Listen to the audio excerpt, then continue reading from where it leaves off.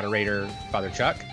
And with me is Father Fun. We Episcopalians have taken over the podcast. We have pushed out Matt and JP. They're done. It is like Doctrine of Discovery, English Empire. Like we're here, man. We're here. You gotta get. You better get used to it. Doctrine of Discovery. um, and this week we are here to talk not about music because Music Mayhem's over. We we uh, we had the last week had the Wheel of Mayhem where we talked about Katy Perry's um, Katy Perry's um, uh, Teenage Dream album, mm-hmm. and um, and it, it, it was an episode.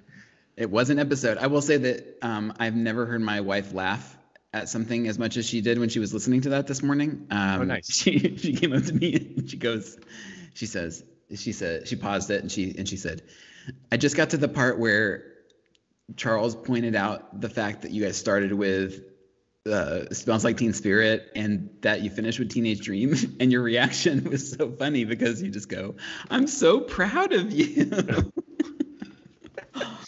So it was it was an episode and i think it ended up it ended up being an episode you know? Well since you brought your wife up i do want to mention that the first thing i saw when i woke up this morning was a text from her and it was the one that she sent to you and me and but I just saw you know her text and there it is, and uh, I uh, I didn't see the preview of it, and so my first thought was, oh no, she's mad at us with for trashing Katy. Katy Perry. um, so I was happy to know that it was just a reference to the Fly in the Ointment book. The Fly so, in the Ointment, yeah. And I'm happy to know that she laughed at the episode because I don't want to upset your wife. I like I like I like Michael a lot, and I'm you know there are, I'll, I'll, be honest. There are times where we're recording an episode. I'm like, what is Michael going to think of this that I've just said? And is it result in displeasure? That's like my entire life right now. no, she's great. She's big. She's a big fan. Um, you know, I think she wants more representation on the podcast, and I think that you know that's a, a valid a valid uh, valid concern, which is why I think that a ladies of a, a ladies of uh, of divinity is is due. It is. We just got to get through the growing season for for JP. Right. Well, and I think um and uh, I think too. I mean, my, my wife's funny. Kana's like, "Who cares what I have to say?" That's her attitude whenever I'm like, "Hey, you should be on an episode." She's like, "Who cares what I have to say?" I'm like, "Who cares what I have to say?" That's right. We're just having fun here. Um. So speaking of not caring what we have to say, we are and speaking here, of speaking of more hopeful futures for the podcast. Yeah. Um, we are talking about a aesthetic science fiction subgenre this is maybe one of the weirder episodes. Um, it is known as solar punk. Now, solar punk, like I said, can we talk not, about? Well, can we I'm, talk about where where this comes from? Like why yeah, we're no, why we're that's about? I was about to say, Patrick. Okay. I want Sorry. you because you're the one who mentioned it to us the other day, and I was really excited because I have I knew about this a while back. Um, but I decided it was one of those weird. I found it through my a weird corner of Tumblr years ago, um, but you got to watch out for those. Um, and then you brought it up uh, as an aside during one of our episodes a few weeks back, and so I thought this would be great to talk about. So you, please share with our listeners what solar punk is and where it comes from. Well, I first heard about solar punk. Uh, you know, I'm it, it, it, we're, we're in. You said it was a subgenre of, of science fiction, and you know, I'm I'm a science fiction fan and have been, you know, by I think by, by genetics as long as I've been alive. But I was listening to a, one of my podcasts that I like, which is called Imaginary Worlds, um, where they they go in and talk about specific uh, like properties or you know in, intellectual properties, those kinds of things, and he'll explore kind of the story within there within those properties. But then he'll also talk more about like how we tell stories and why we tell stories and and that kind of thing. It's it's a great episode, and he so he had this episode called Oh, I looked it up. Um, and of course, I'm not going to be able to find it, but it's called like Solar Punk is the Future or something was the name of the episode. And I said, this this sounds interesting. So I listened to it, and I had no I had no idea what solar punk was. I didn't recognize the name, um, and and so I listened to it and was pleased to learn about solar punk, which is um, it comes comes off of um, it's a spinoff of the idea of cyberpunk, which is the first um, I think, iteration, named iteration anyway, of these subgenres of, of science fiction. Um, wherein so sub so cyberpunk is this idea that as technology moves forward, human beings are trash and will use technology in a way that kind of destroys society or destroys the world that the combination of kind of artificial intelligence and, and cybernetics are going to cause a breakdown in the social order. I think that the I don't I don't know exactly when the what the genesis is, but the big kind of prototypical novel of this is um, is Neuromancer by um, by William Gibson, which is 18, 1984. Um, and so if you think about so cyberpunk, let's let's talk about some cyberpunk things. Um, what, what's the what's the big movie that I can't think of? The Matrix. Well, cer- cer- certainly the Matrix, but I'm thinking of the movie that do androids dream of? Blade Runner. Oh, Blade, Blade Runner. Runner. is cyberpunk, right? That's which that's the kind I have idea. never seen. Oh wow, wow. Um, I have not seen the new one, which is scandalous. I, have I've heard for people who like the original one, but um, it, so it's the idea that basically as as technology progresses, human beings are going to use it in a way that ends up creating kind of a dystopian dystopian future, right? Then there's all these different kind of derivatives of cyberpunk that have come out over time um, that the kind of the, probably the most uh, common of which, or the most known of which, is steampunk, which is the idea that um, it, it's more of like a fantasy into the future. The idea that kind of like steam era, steam steam based area, you know, industrial revolution technology, and that and the aesthetic of that will carry forward into the future and imagining what a future might look like where we're still using kind of steam power. And so our instead of robots that are built on you know s- s- silicon chips or whatever they're robots that run on steam or those kinds of um, industrial era power um, and there's a certain kind of aesthetic to it that, that's that's very popular. And so there's whole, you know, conventions about st- steampunk, that kind of thing. Yeah, it's a speculative fiction thing. And uh, what I, my favorite, my favorite one sentence uh, summary of steampunk came from um, our friend from seminary who said, "Steampunk is goths who discovered the color brown." I, I am trying to think about some some examples of steampunk that people may be more familiar with, but I, nobody Wild saw it. But the, the, Wild Wild West is a great example that people have seen. There was a movie that just came out um, in 2018 called Mortal Engines that got 28 26 percent on Rotten Tomatoes.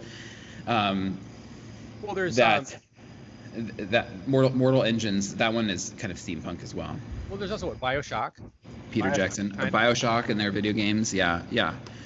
Yeah, so there's there's some definitely popular popular versions of it. So I've heard of both cyberpunk and solarpunk, um, and so I knew because it, or sorry, cyberpunk and steampunk.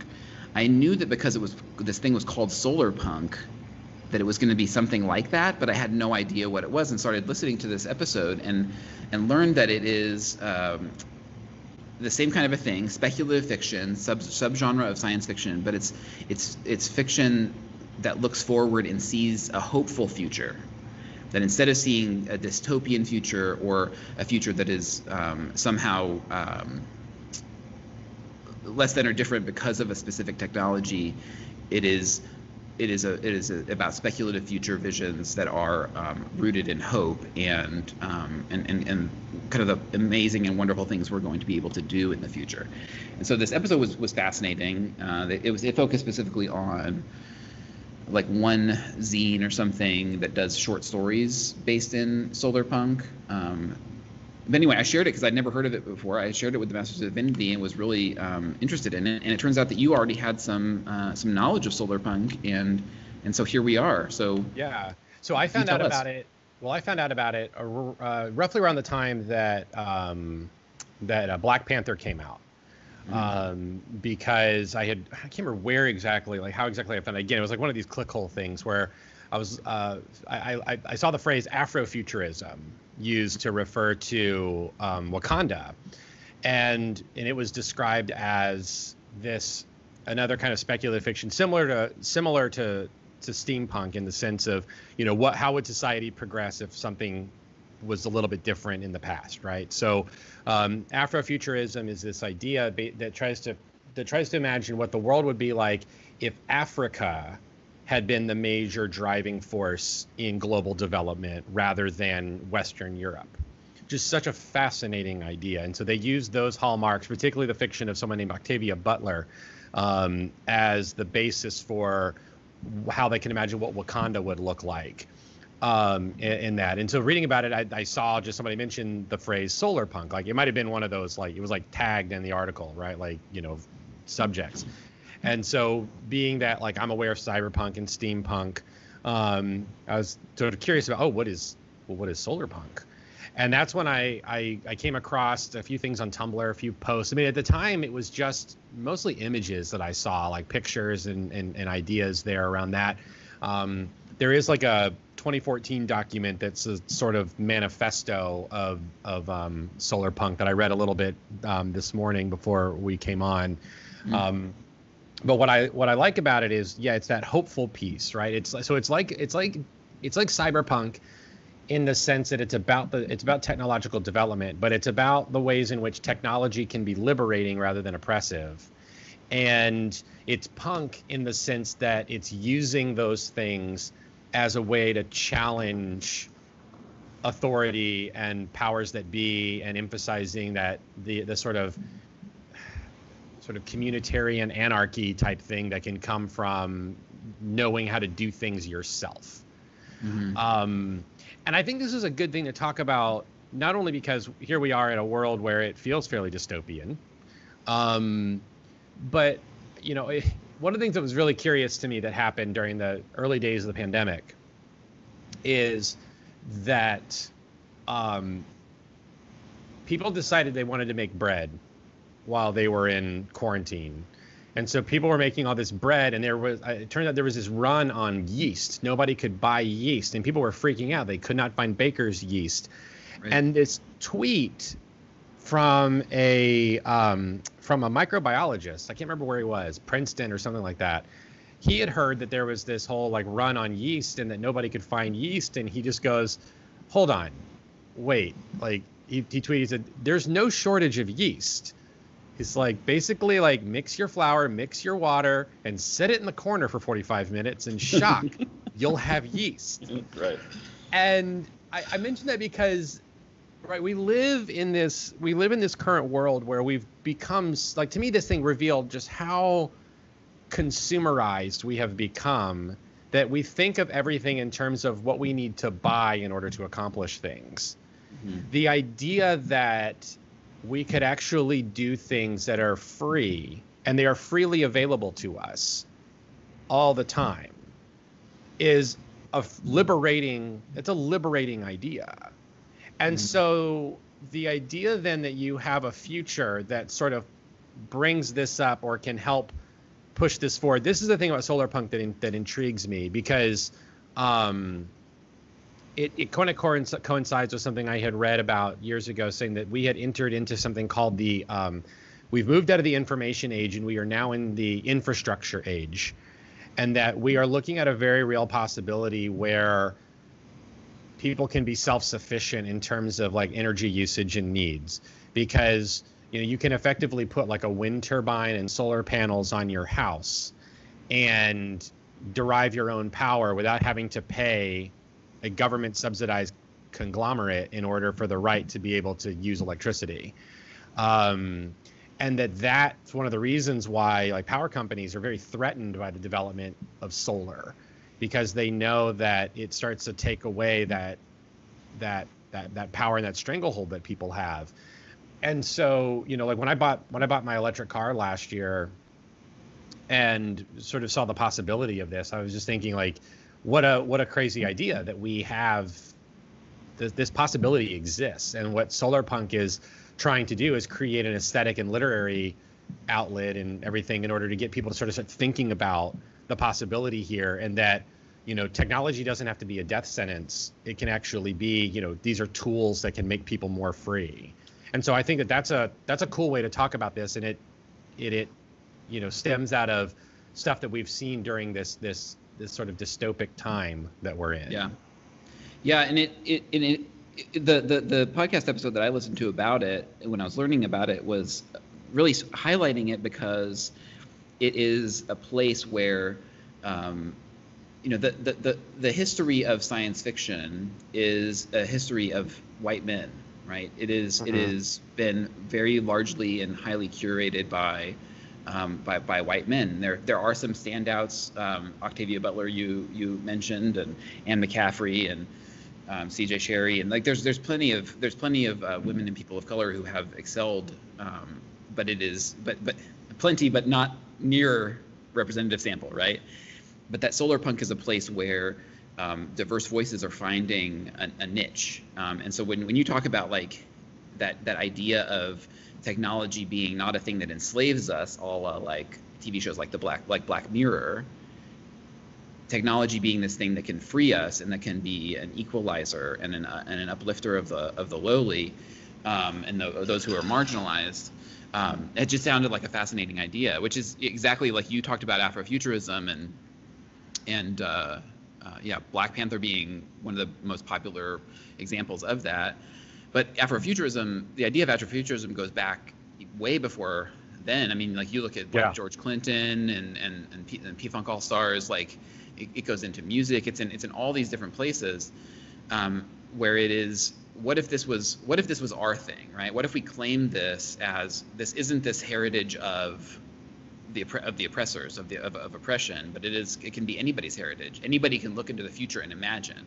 And if we were um, if we are am- among a marginalized group and we look to the future and see equality and power, what does that look like? And it ends up being a, it can end up being a hopeful vision um, for, for for the future. Um, it's a, it's a, it's an incredible an incredible message, and it just like I, we'll, we'll get there eventually, I'm sure, but. I hear it and I'm just like, man, like this is what the gospel is, man. Like, Oh yeah, yeah. it, it's it's it's like this is exactly what Jesus is trying to do. You know, like give to the marginalized a, a a vision of the future that is completely different than what they, they currently see and, and, and live. Right, and rooted in harmony, right? I mean, Right. It's it's. I think of um. Well, so as we're talking about this, I'm thinking a little bit about Steve Jobs, um, you know, who who was a jerk, um, but brilliant, and one of the things that set Jobs apart from everybody else during the during the early days of personal computing was that Jobs was not an engineer.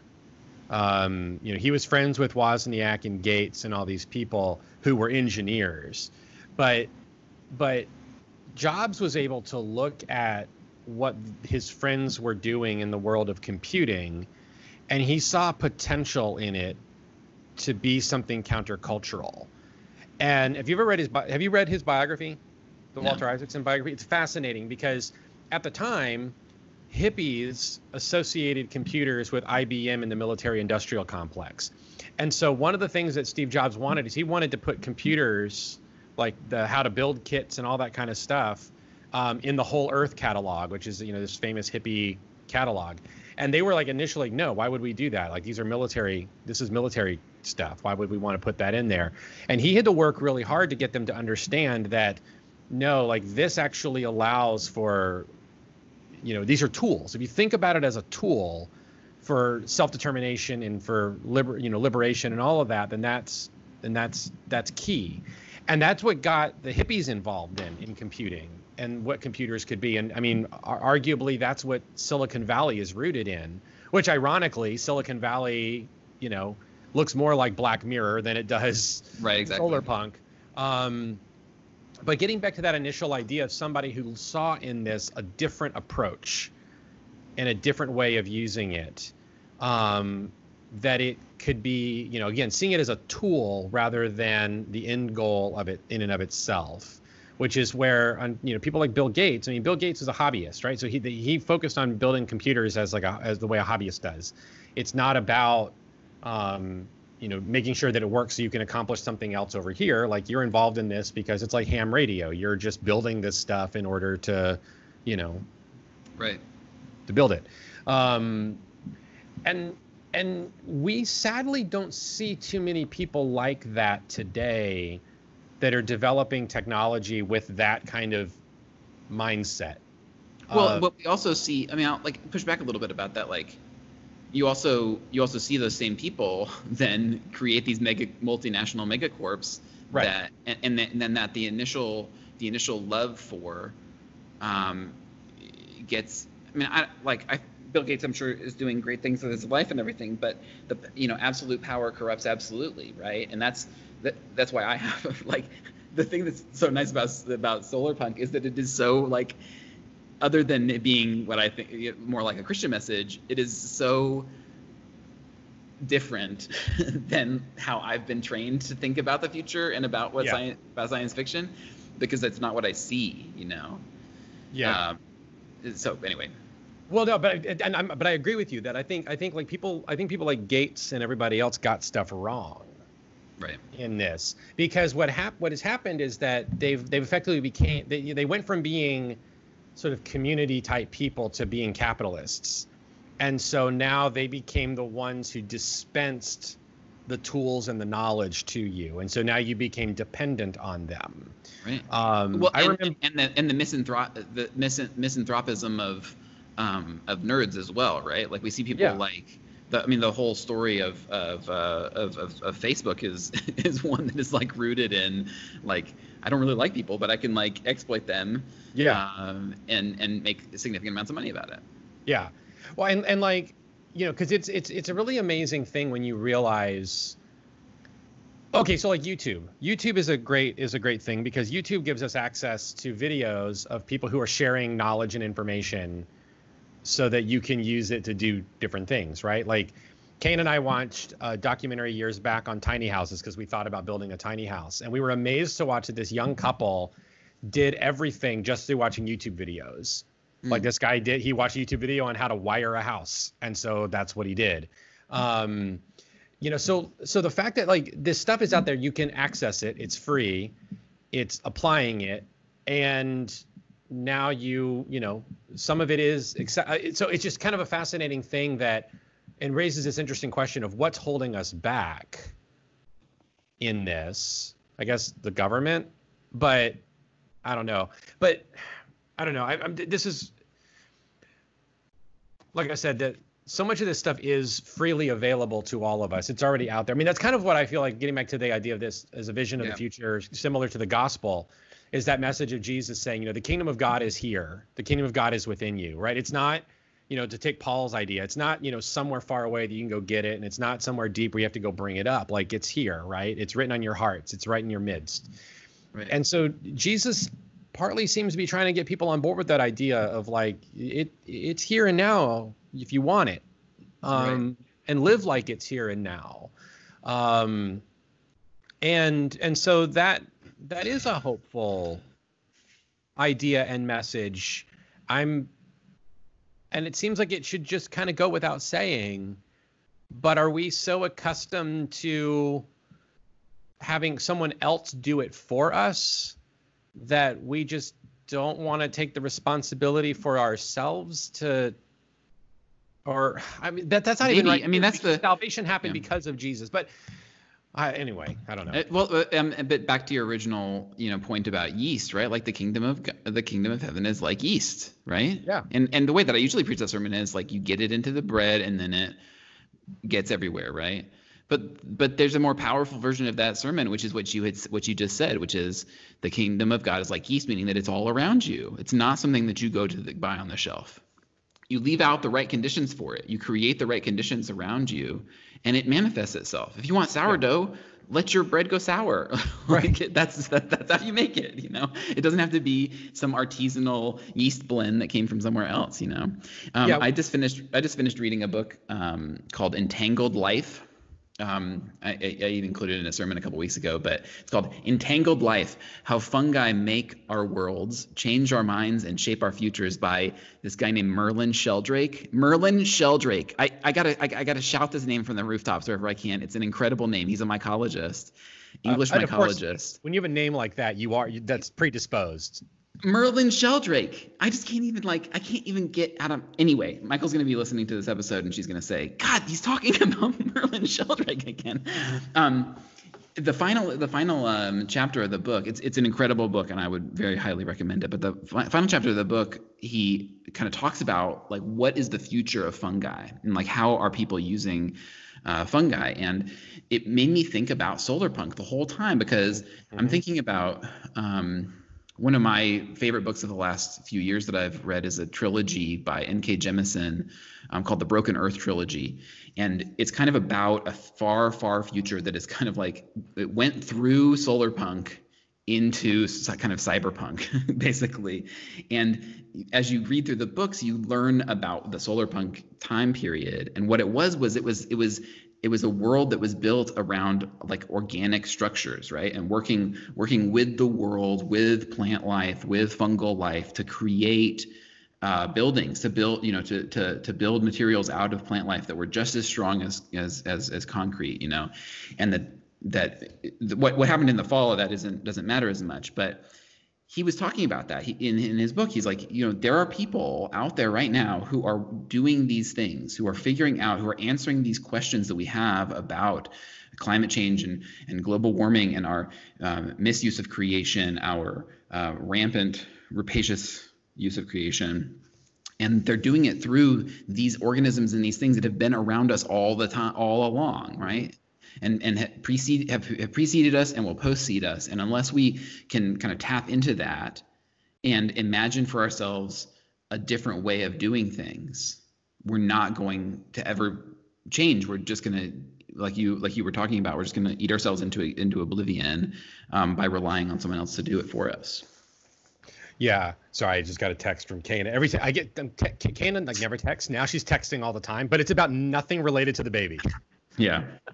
um, so, um, but no, you're talking about like talking about fungi. I'm glad you brought that up because I actually wanted to bring up fungi in this because hey, hey, the idea that like because like you know I'm thinking about like oh like you know using it to like grow buildings, right? right? That's being talked about. So, so mycelium, um, you know, is this you know material that apparently links the cosmos and we can warp through it using our starships, but it's also um, like getting super high. Yeah. But yeah. this is uh but no this um mycelium is a is a type of fungus that or type of fungi whatever that um grows like just in like you know decaying organic matter like most fungi do this uh, one guy discovered one day he picked up a log while he was out hiking and he realized that this log was actually broken piece to two pieces of wood sort of held together.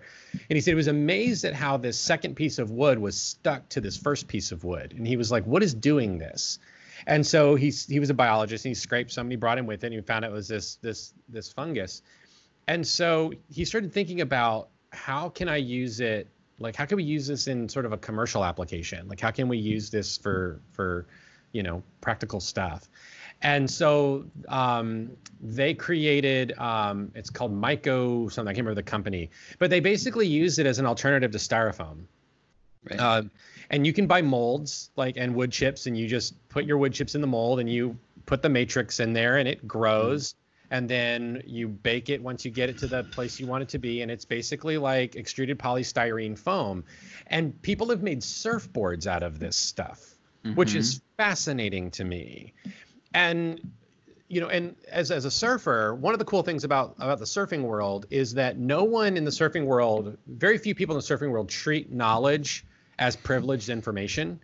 Mm. it's one of these things that people will share it but you've just got to learn how to do it right? Like it you know the anyone can make a surfboard. Surfboards are actually not that difficult. The the the, the entry the entry cost of a surfboard is materials. That's it right? You can find videos that teach you everything you need to know. I've made three surfboards. It's a very, you know, it's a great thing. And going on to the message board Swaylocks, which is like the place where like some of the most like the pros who are making boards for, you know, like these legendary shapers, they're posting stuff on there and giving their information out for free for mm-hmm. anyone who wants it.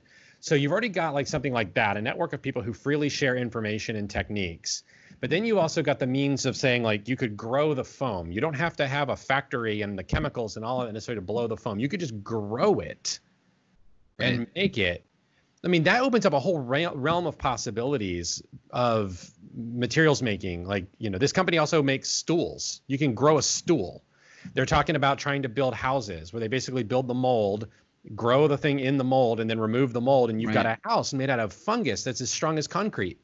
Right. Um, I mean, and they make and they make they make leather out of the stuff, and like yeah. they, they do all kinds of yeah. It's in, it's incredible.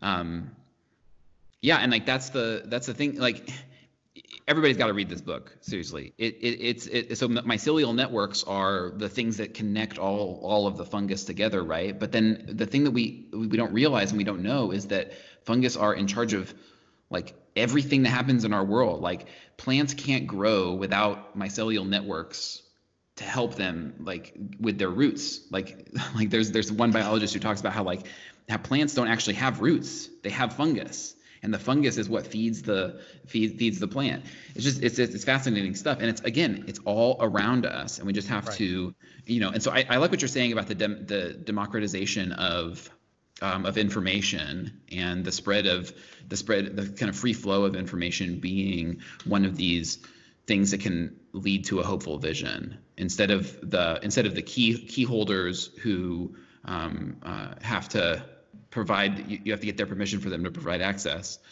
you can find it on youtube you know right. which is also controlled by a megacorp but well yeah.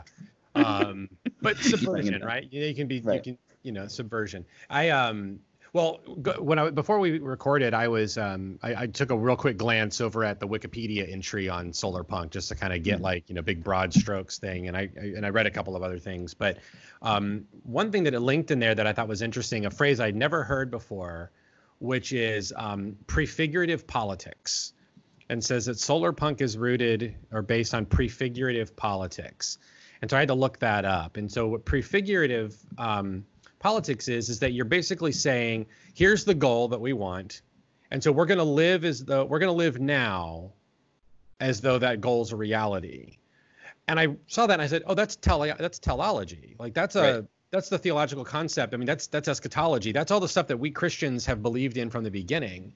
And so i think you're onto something when we talk about this patrick that that this is a moment in time mm-hmm. where maybe like uh, the as Christians, you know, it's important for us to kind of, you know, we need we're in a disruptive moment where we're breaking some continuity a little bit because of you know we've seen the heritage of white supremacy and all this kind of stuff impacting the church. So we're at a right. we're in a point of you know we've already come through a time of breaking heteronormativity and all that and all that kind of thing. And so because in the episcopal church we're in that place we also now kind of freed to really live into that teleology that is a hopeful idea. It doesn't just have to be rooted in technology, but in mm how we move forward and what drives us. What are the engines that drive us? And so, you know, so really like, I mean, it's an exciting thing for for evangelism. Yeah. Um, to be able to talk about the world we live in now and that the vision is there. It's it's actually ancient wisdom. None of it right. is. This isn't a new idea. It's just an, an old idea we have done a really bad job of living into. Yeah, I heard I heard about the that idea of what did you call it? Prescriptive politics. Um, uh, uh um, um, um, um, per, um, prefigurative. Prefigurative politics. So I was listening to um, another another podcast. This is my life. Um, this day, and I learned about a, a, a, thing that had happened in 1968 that I wasn't that I was that I didn't know about. It's called this this day in esoteric political history. Um, we just passed the anniversary of um, of something called Resurrection City that okay. was uh, it was like a tent a tent community basically that had sprung up on the mall um, and was run by the Poor People's Campaign um, after King's assassination, after MLK's assassination, and it was exactly this. It was it was it was people saying we need to have a different way of seeing the world, and we're going to model what that can can look like right then so the, what they did was they got together and they said we're going to be a community right and this is where you this is it's interesting. I'm, I'm saying this and I'm also thinking about like Occupy and thinking about like these kind of live in these kind of live in models of what the future could be trying to bear witness right and then they get crushed right by both um, internal strife and their and the and the uh, effects of outward influence on them. You know, in the case of the Resurrection City, it was the police coming in and breaking it up, right?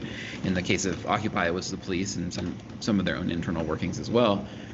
Um, I don't know what I'm, I'm, saying. I'm just saying like that, that that's true. Like that's that's one of the state. That's one of my. You know, they say you only give like three sermons. like one of my sermons yeah. is like. The thing I worry about is that we don't do a good job with formation, where right. we give people the practices and the tools to actually to actually live out what we say we believe you know? And so saying so using it as I'm, I'm worried about using it as an evangelical tool when it's very difficult for me to point to uh, any single person let alone a community of people that is doing it you know? That's really like living the kingdom within the, their kingdom of control. And it's just well, it's just hard it's hard to it's hard to do it when it's a when it feels like it's more of an idea well that actually leads into the next thing about this topic that i think is worth discussing is you know is real world examples. Um, and part of what got me you know I, I just suggested this topic actually yesterday in a, in a message to you. And I, I got that part of what inspired me to think about it is i was driving home from work. So I work in downtown Honolulu, and I live out in a neighborhood called Hawaii Kai. So it's a 30-minute drive um, on the H1, and I go through numerous valleys, and I have mountain ranges on one side. I have um, Leahi, also known as Diamond Head, on the other side, um, and I can see the city. Um, and I realized, so Kane and I, when we first came, we, we we commented how much Honolulu looks looks like an Asian city. It doesn't look like any other city we've ever seen in the United States. I told her there are elements of it that kind of remind me of Bangkok. She says it reminds me, it reminded her a lot of Singapore.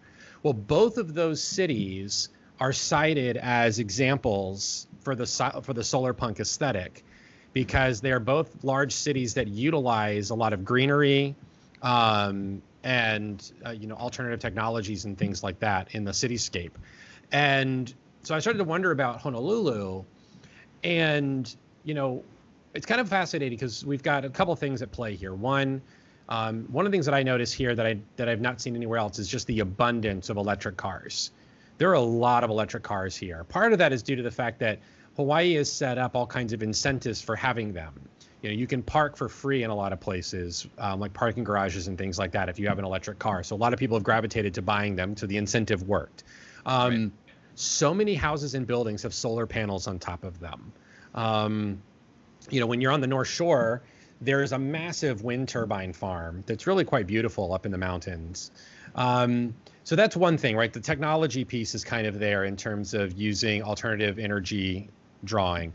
There's plant life all over the place in the city. There's there's only like one or two real areas that I would think of as as classic concrete jungle. Everywhere else there's some kind of tree or something dominating the landscape and that's and that speaks to the other part which is how much of this is still rooted in a hawaiian mindset that tries to find a balance with nature as well as with what humans have to do um, it's interesting kane and i joke that when we go into the areas that look more like suburban sprawl um, white people dominate the landscape Mm-hmm. But when you get into the areas where you see more of a blending, it's a much more mixed ethnic ethnic community.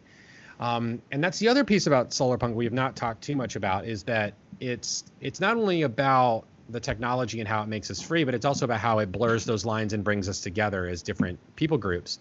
You know, so like I'm living in a place where it's very weird in that, um, you know, I come from I come from Florida, which is not really the South. Um, but I have family who live in Georgia, which is the South, and so that's been a big part of my rooting and identity.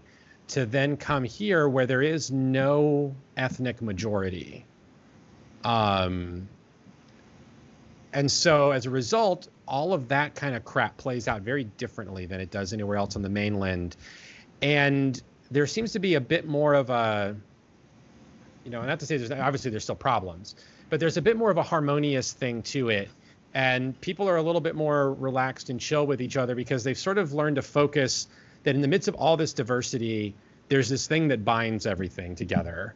And they try to they try to find that. And of course that's that's summarized in the term aloha um, which itself is rooted in the way that the way that um, the Oiwi Hawaiians, the original Hawaiians, um, saw their life and existence here because you know, they they were very acutely aware of the fact that these islands resulted from volcanoes, and that the volcano, the lava cooled in the water, and then the ohia trees were the first things to grow in the lava, and so they know that the ohia tree, which they revere really seriously, particularly on the Big Island, um, is responsible for everything that's here. Without the ohia tree, nothing else is here. And so those relationships and that those and that respect that comes with the plants and the trees that are responsible for bringing all the animals, which then in turn brought people, um, is is all part of this mindset of this interconnectivity that lives here. And so people try to find this medium in between it all to to coexist, and that allows for this to be a place of a lot of blended culture where it's not like a tokenized blended culture or like a consumerist blended culture, but it feels like a very authentic thing. Like, oh, the thing that you like is cool. Well, we think this is cool, so we're going to adopt it into here. You adopt the thing here, and it just sort of again finds this this, this happy medium. And so I'm I'm I'm wondering if like a place like this is a vision of what things could be. I mean, Martin Luther King Jr. said that about Honolulu when he came once, that he saw that there was a vision of a future that he hoped for for the rest of the world here in Hawaii. Um, it's also curious that when you look at human migration, Hawaii is one of the last places that humans settled. So this is technically the new world in the grand scheme of things because this was the last. And so here we are in a place where it, in some ways, could be like what we're hoping for for other parts of the world Mm. And when we have our problems here, they seem to be the problems that are exported from the mainland or other places rather than things that are like part of living here, right? It's it's external forces impacting it rather than internal. I mean, I've only been here a few months, so I'm, I'm, I'm obviously not an expert on this, but just just thinking about it in terms of these bigger questions, this bigger vision, you know, is there something to you know, do we have something really special here that could be an example for the wider world? Um, okay, can I pause you right there? Because yeah, so like you're, I think you're. It's interesting, you know, like much love to Hawaii, but you said like an example for the wider world, and and and I, what I first heard you say, because I was thinking along these lines, was is it an example for the wider world? Oh, oh, right. And I started to think about, you know, one of the things that our that our mutual friend Jabril talks about is how like the, the, the history of the history of white people is the history of exploitation and you know and profit motives that drive the kind of policies that end up creating systems of of racist ideology and white supremacy, et cetera. And as you were talking about um, Hawaiian culture and specifically Native Hawaiian culture, I was also thinking about some of the same things that could be said about the kind of pre white man times in yeah. my own in my own area, right? Where buffalo roam and where, you know, like that there's this there's this um you know, I don't want to like fetishize or kind of uplift na- the, the like this the, the noble native, the noble, right. noble savage. I don't want to be guilty of that in any way, but I think that that's that's kind of where we're kind of seeing is that there's this there's this thing that has happened in Western culture. Um, I was going to say post enlightenment, but it's even pre enlightenment, where exploitation and and over and overness, you know, and, and feudal systems are the thing that drives that drives the world, and that there's something to that relationship with the land that is uh, that that is necessary for us to to to, to learn. By and, and in order to do that we have to let go of the power and control that we have um, um, claimed for ourselves or that our forebears have claimed for us. Yeah, and I think, yeah, because there is that tendency, right? Yeah, you said, of the noble savage thing and the fetishizing of native and indigenous communities on the part of of white people. Um, but I think, I think that part of it is that these these are these are civilizations that have maintained a mentality and mindset that goes back to very ancient to very ancient ways of being human that we lost along the way in places like Western Europe. That we abandoned stuff that we've kind of always known to be true. And I think it's no coincidence that Jesus is pretty pointedly challenging Roman imperial identity, which itself is this aberration in what it means to be human, and probably one of the most ultimate examples of that aberration. Um, I mean, just, this has just popped in my head. Think about like here's this is the, here's a here's a fun sermon or fun exegesis. Rome, the Roman Empire, as the Tower of Babel, right? Because Babel was where everybody was together, and the story of Babel is that God gave them different languages so that they would disperse. Mm-hmm. But Rome started incorporating all these people from all over the world and languages and identities and tried to put them all alongside each other. And so Rome effectively becomes like the undoing or the reversal of Babel, but it's but it's still Babel. Like it's not so it's not really undoing of Babel. It's just sort of Babel 2.0.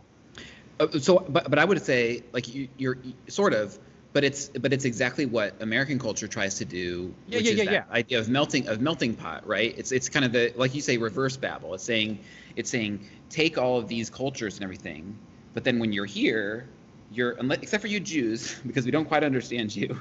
Everybody else like this is the cult, right? This is the worship. This is the language. This is what we do. You have to kind of fit within one very limited scope I, uh, definition of what it means to be a Roman citizen, what it means to be an American citizen. And if you look this way, then you have to step up and you have to step up and do it in this way. If you speak this language, you need to get rid of that and speak this language. You have to homo- homogenize and do the melting pot. Right. What you're speaking of when you speak about Hawaii is it's still possible to have that um, the it's still it's still possible to have kind of the the heights of technology and culture but maintaining a diversity that's much more of like kind of like the salad bowl right? Where individual culture is um, is is honored and allowed to maintain itself. And then what comes out of that is, in, is as an amalgamation is from the authentically real instead of the imposed limitation Right. Yeah. It's come. Uh, I don't know. This is a fitting metaphor, but it's almost like in America, what we try to do is it's like we try to take a salad and throw it in the blender. Right. Where that sort of that sort of ruins the salad, even though all the ingredients are there. Somehow it's been ruined. Whereas if you eat the salad, the complexity and everything of the salad is what makes the salad special. Right. And you know, Hawaii Hawaii puts this stuff on. I mean, it's front and center. I mean, like you know, people who are uncomfortable with racial and ethnic conversations would be shocked at like the way the, the cavalier attitudes that people have here. But it's done out of a place of sort of like love and familiarity. It's not out of like an othering right, right. so like people will describe each other by their race all the time and it's not seen as it's not seen as like a weird thing. Um the um um the other but that, but I think part of that is due to this Hawaiian concept that's common throughout Polynesian society. That in Hawaiian the word is hanai, which is a word for adoption, but it's an adoption that's like it's really hard to explain because it's like you can basically be a part of it's like you can be part of my I like you could be effectively Hawaiian without but you but you still don't have Hawaiian blood. So like there's this distinction but it's you're still part of the thing, and that kind of feeds into the whole concept of ohana, which is this right. like you have family even though you're you know cousin you know everyone's cousin this or auntie or uncle that here um, because of those kinds of relations even though you're not blood related and nobody wants you to be blood related they want those distinctions to still exist because those are important even though we find happy equilibrium between them mm-hmm. um, and i mean to me like that that's a little bit of almost like a foretaste of the kingdom of god right that we we see this vision of the world where difference is not diminished and it's not destroyed, right? Like when Jesus says, you know, that there is no longer male or female, right? You know, Jew or Gentile, um, slave or free or any of that. You know, he's not he's not mashing us all into like gray some goo. mannequin, right? exactly. Yeah, some it's, sexless whatever thing yeah. Yeah it's just that all the like all the like definitive markers that we've built up on those labels go away. Yeah. And and that you know we get to live fully into all of those roles and those identities that like in the kingdom of god you know we're all the best version of of what we are. Um mm-hmm. freed from all the baggage and sin that that hold us back. I just want to say i realize that the examples that are often held up as a solar punk example in aesthetics are always kind of tropical. Mm. I'm curious about what does solar punk look like in like a plain society? Plains, not like yeah. I mean, right. I don't. I don't know if I have. Uh, I don't know if I have an example of what of of, of real life solar punk that I've seen. Um, you know, and I think you're talking about like an aesthetic the the the aesthetic question, which I think is interesting, and when and when I've ever seen anything depicted, it's about it is more of those kind of like tropical locales, you know, places where you can ex- exist, you know, closer to nature or whatever else. Um, the thing that I keep thinking about is like, what's the policy level distinction that's that's that's necessary you know yeah. like how do you how do you how do you get there and i don't know i don't know if i haven't answered the question but so my answer to your question is i do not see solar punk as much in a real world uh, in a real world context. I can obviously, as we've talked about, see it in a theolo- as, in a theological framework. Um, I'm compelled by what you say about Hawaii, having never been there. But um, the thing that I was thinking about was, you know, to take it back to one of our our favorite uh, um, hammers to beat on, is um, is is Star Trek solar punk?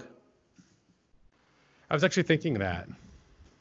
Um, there was a there was actually a blog on medium.com that was like Star Trek and solar punk and I tried to read it but it is like private. I couldn't read it anymore. Hmm. Um it's not re- not readable. Um I'm maybe I would think I think Discovery. I think Star Trek Discovery presents somewhat of a more solar punk esque Star Trek because mostly because of the spore drive. Um, it's because it's hard to say that it's hard to say that conventional Star Trek as we've known it prior to Discovery would be um, solar punk because it involves dilithium, which involves mining, which involves violence to to a natural thing, right? Well, so and that's so, but I but I wonder though, is it possible to have solar punk without? I mean, like any kind of mining and ore. I don't think you, you're. I don't think for me, the idea of solar punk is about a kind of harmonized and hopeful future looking forward, and it's less about kind of how you how you get there because you would assume that the like like I don't think everybody needs to be vegan. Like it's not about nonviolence necessarily, and so if there's a if there's some kind of like sustainable way to farm or grow dilithium, then it's possible to still you know that that doesn't have to be a factor as much. But what star trek tries to do is it tries to present a hopeful a hopeful future and largely succeeds but this but the but the shows of star trek are all about kind of how human nature as is classified both by the humans usually high ranking humans or as as displayed in stereotypical ways by alien races how that that try, tries to kind of like break into the world of solar punk into the hopeful vision of this mm-hmm. idealized future and then the and then how solar punk or how the how the federation tries to react to that you know or, or has to deal with that um, which makes me think that it probably is solar punk that it's solar punk that exists in a in a in a world that uh, understands that in, in a diversity of in the diversity of a space of space you're going to come up against cultures that are not trying to be the hope you know Right, right. Um, so the big question,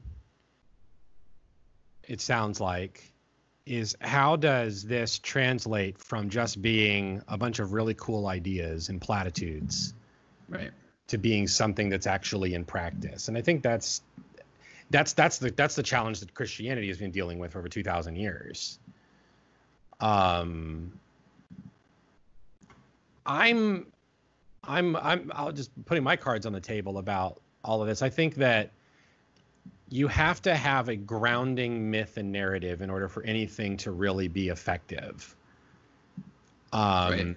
I don't think that you can, you know, you it can't be too slapdash, right? You've got to have something that's a common, a common whatever, and I'm of course, you know, showing my bias. I'm I'm I think it is the gospel of Jesus Christ that is that grounding and common thing. I mean, I just think about Eucharistic practice. I mean, Eucharistic practice seems to be like one of the most like solar punk kind of things that you can do. It's full harmony with all of creation, unifying all people together and elevating them, right? Um, mm-hmm. and then and seeing us being transformed, and then and then empowered to go out into the world, bringing that sort of mindset and everything with us. Um, and so I think that and I think some just somewhere along the way, I, I, maybe maybe it was Constantine, I don't know, but we just seem to get confused and think that what we do in the church is kind of something that we just do on our own little insular basis that we do to pass the time. Mm-hmm. And well, that, N.T. Wright, N.T. Wright would talk about how the what you're talking about is the, the kind of like personalization of religious practice um, is a is a modern thing, is a is a post enlightenment thing. That yeah. as that the that as the world a world that is kind of structured around everybody understanding the church to be the central organizing principle, um, even a problematic form of it, but um, that once that goes away and people start to bring in the kind of scientific perspective, that religion becomes more personal, personal practice, and then that gets reinforced by um, the awakenings, the rise of evangelicalism, the personal relationship with Jesus, the all that stuff. It, it, it ends up reinforcing that that narrative, so that externalized, so that from an outside perspective, the the religion of Jesus Christ, which is a religion of community, is seen as a religion of individuals. Which is a, re- a really kind of a, a, shocking thing that this is what happened because you know Christianity comes out of Judaism, and Judaism, one, is a religion that is so bound to the home rather than a temple. Mm-hmm. You know, I mean, it's bound to the temple during the time, but once the temple's gone, right? Like most of your religious identity is found in your home. I mean, the big weekly celebration of what you do is primarily done in your home. Like, you know, the synagogue developed kind of, you know, as we understand it today in conjunction with the mindset of the church, right? We sort of, but like, yeah. You know, so the, um, so it's, it, and I think about something that um, Bishop Neil Alexander, when I was at a thing at um, Sewanee when he was dean there, um, Sewanee Seminary, he, he told this really interesting story about the Book of Common Prayer. And he said he thinks the Book of Common Prayer is this really amazing, is probably the great gift that Anglican Christianity gives to the religious landscape. Um, he says, because the amazing thing about the Book of Common Prayer is that Cranmer took, you know, you had your library of books for the priests, you had your library of books for the monks, and then there was a few things of devotional literature or whatever for the common people. But every group of people had their own separate things and that Cranmer took all of this stuff, he simplified it, he put it in English, he put it in one book, and then he gave it to everyone. And it was like, you know, if you're the king of England or you're the poorest person, we're bound by this same this same thing. Mm-hmm. Um, and I mentioned that one because that's that's that's that's a cool thing of sort of a democratizing thing in, in Christianity that we that we developed. But there's also this the sense that it's rooted in Benedictine spirituality, and that it contained in it is the expectation that one's Christian life would be lived out every day with saying prayers every day, with study and reflection and all of that. And so we always understood this to be something where like you come on Sunday, but Sunday is Sunday's how you sort of started off. The real work of Christian of the Christian life and the real life of worship and all that happens, you know, the other days of the week. Sunday is this really small part of it. But what yeah. we wound up doing was we made Sunday all of it. And then when we when we tried to democratize it or whatever it is that was going on, um, the the end result of it, especially after the Enlightenment, was that it became very personal. And so now I'm living my personal relationship with Jesus in this room with other people in their personal relationship with Jesus. And our relationships might not be the same, but it's okay. We're in the room together. Yeah. And there's not this binding principle that we each individually connect with, which is weird from a in all religious in almost all religious understandings because almost every religion in the world sort of carries this expectation of daily living as a binding principle as a community. We're one of the few that atomize this thing. I wanted to take what you were saying about the Book of Common Prayer and and reflect a little bit on it, which I think is that like I think you're right, but I also think that what ends up happening with the Book of Common Prayer is actually more kind of like solar punk and Kingdom of God, which is that instead, like that the Book of Common Prayer put together in this great way that you say that takes all these this you know thing and puts them together is amazing and wonderful but it is also then becomes a tool of empire right, right. and it goes out and inspires and creates this kind of problem right and then and and and in each of those places the empire says this is how you worship and you have to worship in this specific way in english et cetera et cetera et cetera then when the when the empire falls apart and the communion says okay like you can do your own thing now then individual cultures are able to take that yeah. book and to make it their own, to put it into their own language, and to put their own um, understanding of prayer into it, so that it becomes so that like that's what I love about the Book of Common Prayer yeah. is that it is this thing that exists in this multitude of ways throughout time, and that well, I, and I think that some part of its problematic history when it is tied to empire is redeemed by what the people who received it have done with it on their own terms. Yeah, like okay, total geek out moment. So something that blew my mind, right? So the so the the Hawaiian prayer book is the 1662 prayer book, just translated into the Hawaiian language. Kamehameha IV did the translation himself, right? right? So what's amazing to me is looking at one his translation of the of the Lord's prayer, but also the way he translates the names of the Trinity. Um, is that the, the names of the Trinity in Hawaiian, and again, he could be using precedent from the people who translated the Bible. So I don't, I don't want to give him too much credit, but I'd love to pretend that like Kamehameha has actually like stumbled into being this theological genius. But he he translate the, the words of the Trinity are Makua, Keiki, and Uhane Hemolele. Um, Makua is the word for parent. Keiki is the word for child. Now in Hawaiian, some instances when you use Makua without the suffix, it just sort of automatically assumes male, but there's nothing like implicit about that. So, but if you want to if you want to specify a male gender, you would say Makua Kane or Keiki Kane. So basically what, what, what Kamehameha does when he when with the translation of the Book of Common Prayer is effectively render the Trinity as parent, child, and Holy Spirit. So it's a gender inclusive thing, which reflects the way the Hawaiian mind sort of sees the family unit um, right. It, it, it, it's not. It doesn't matter if it's the male parent or the female parent. It's the parent. That's what's important. Um, and so, like, so that, so just building off what you're saying, like, here's this thing, a tool of empire, which weirdly enough, though, Kamehameha just embraced. Like, it wasn't imposed on him, right? Mm. It was basically like, we like the Anglican Church.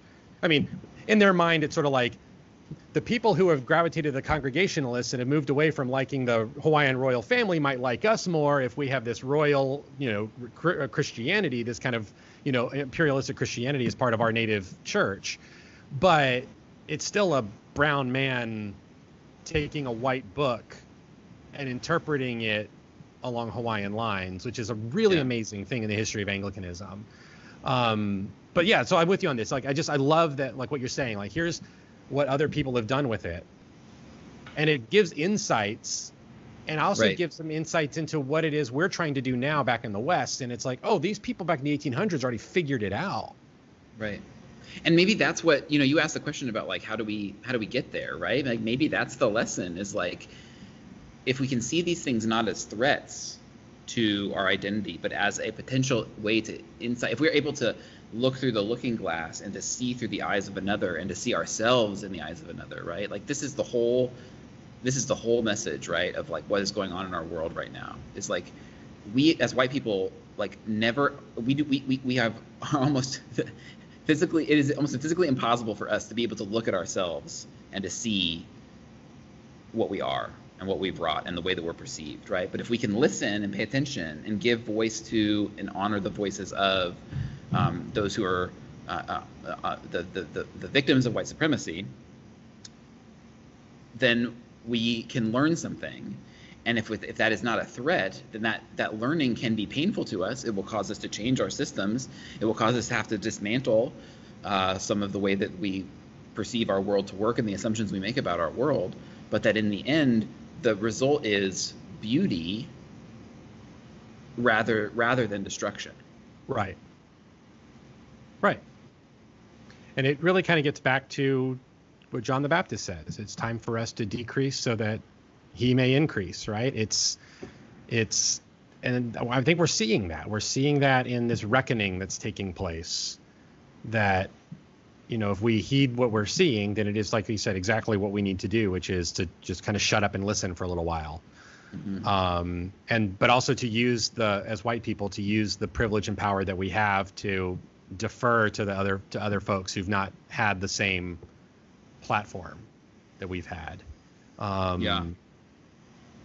Um, I mean, I guess the the ooh, I just almost hit my computer. I guess the one caution that's always there is doing it in such a way that it's reaffirming whiteness. So it's like, right. how do I, a white person, continue Save to have you. this power? Yeah. So I'm going to listen to what you say so that it I incorporate it into now my white identity and then give it back to you. Right. Um, um, which, by the way, I think is part of what's going on with the global South issues around sexuality. Mm. Um, I think it'd be very. I would love to do like a long-term study to find out about how, you know, like we gave them this religion, mm-hmm. and now they've embraced it, but now we're telling them how to do it. right. Right. exactly. No, it's totally. It's all part of that. Um, I think this is an interesting. It's a, it's been an interesting conversation, and I'm interested from our um, from our listeners. You know, did you like this kind of?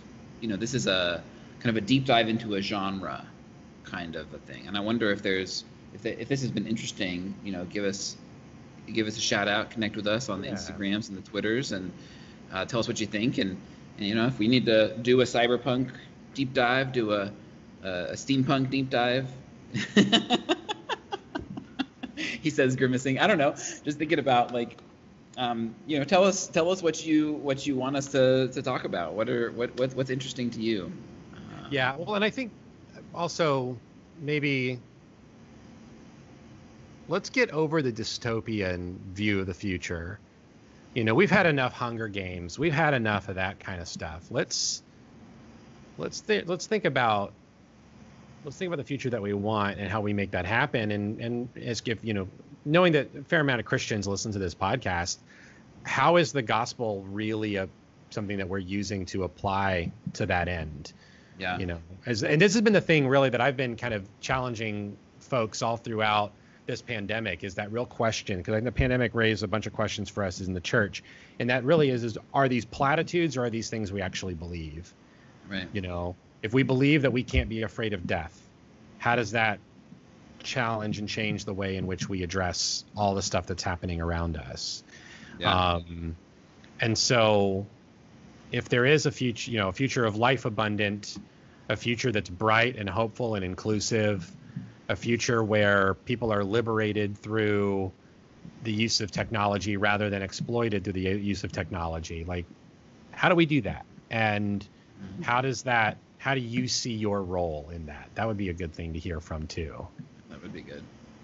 Okay, I have one final, just like quick, quick response. Is the Revelation to St. John solar punk? Ooh.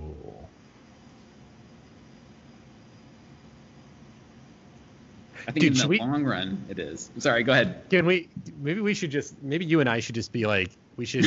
uh, I wish. You wish you had. This is what you should have done with your set with your sabbatical, man. We could have done like the solar punk commentary on the Bible. Yeah. I don't know enough about. I don't know if I've ever actually legitimately read any solar punk. I just have heard about it and been interested, you know. So I don't know if I would be able to uh, actually do that. But that's what you should do for your sabbatical in seven years. You should immerse yourself in the worlds of soul in the in the Hawaiian world of solar punk and write the definitive the definitive uh, Hawaiian uh, Bible, the Hawaiian Solar Punk Bible. that sounds like something out of Dune. Orange Catholic Bible. Um, yeah. I, Dune is not solar punk. No, it is not. No. Absolutely not. It's what would you call? I mean, I know it's just hard sci-fi, right? But, yeah, but I mean, it's kind of cyberpunk. Like you, like the, the Tleilaxu and the um, even the mentats are kind of a version of cyber of cyberpunk you know that's true mm-hmm. um love dune no man a dune deep dive would be great oh dude i would i would i would do it in a heartbeat we should but we should hang on to that one until the movie comes yep. out yeah um So um, I'm going to think about that. Is Revelation? I, I want to say it is. It is. I think it is in the long run. It, the question is like, is it allowed to be? It's that question about violence, right? It's a, it's that question about destruction. Is you know when we think about it in terms of white supremacy, if there is a solar punk future of a non-white supremacist world, then it's going to necessarily involve the destruction of the former things, right? And right. that the ultimate vision of you know of John of Revelation 20 and 21 is solar punk. It is it is it is hope. It is it is it is a hope-filled God with us recreated, reformed, blessed world. That that is hope, right? So so that is solar punk. But the mo- the mode to get there does that still count? And I don't think I have a broad enough understanding of what what what the genre is. Well, and I think getting back, this is somewhat related to the Star Trek question because in the in the mythology of Star Trek is the great horror that presages right. humanity's enlightenment and its move toward being a warp capable species. And so that and that kind of relates to this this little axiom I've developed over the years is to say that the demon always comes out kicking and screaming. That when we do the work of expunging demonic forces, it's always going to be ugly. Yeah. Because the demonic force does not want to go. Right. Um, and I, I think that's what we're seeing right now with the kicking and screaming around, you know, Confederate statues and, I mean, people getting upset about Aunt Jemima syrup. Yeah. I mean, yeah, come on, man. But it's also, I mean, I it's think the it's most right. capitalist conservative thing on the planet. A private company realizes they make more money if they change this thing. but it's rooted in what it is. Is it's rooted in, in ignorance, right? It's rooted yeah. in it's rooted in like you don't realize that this is connected to minstrelsy, right? And to um, problematic depictions of of people of color, right? Like that's it. It and, and not being and it's again, it's exactly what what we said earlier it's about it's it's the closing off of one's perspective to understand that the way that you see the world is the only thing. If you were able to open it up and say, I'm having a reaction to this, recognize that reaction and say, and, and interrogate that and say, where is that coming from? Is it possible that I'm not able to see this whole picture?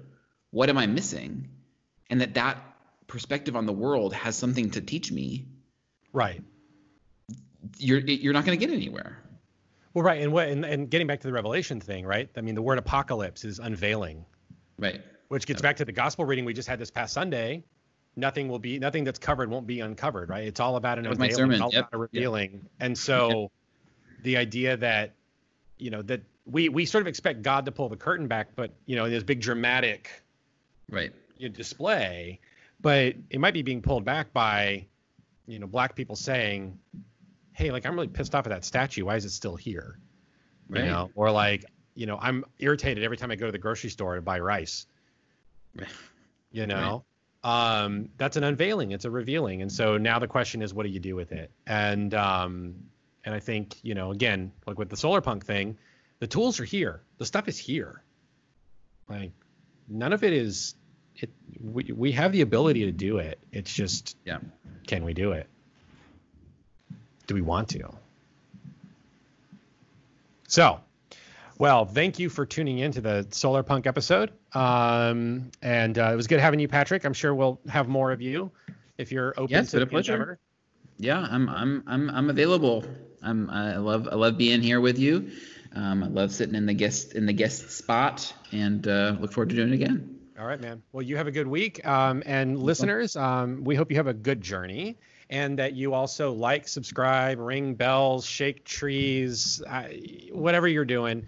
Um, and uh, I don't know what the technology stuff is. That's all JP's thing. Um, we also have, you know, consider being a patron. We're on Patreon. Um, we want to give a shout out to our patrons who do give us money. We appreciate that. It helps uh, this podcast go.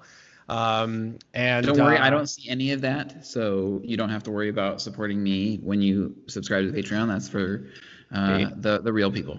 Yeah, well, and it, it also goes to help. It goes to the it goes to the to the podcast is what it goes right. to. So, um, so yeah, and uh, buy your Casper mattresses and uh, your uh, your uh, what's the cooking one? Um, blue blue apron. Blue apron, right? right. All uh, right. All right. Well, good journey. Good journey.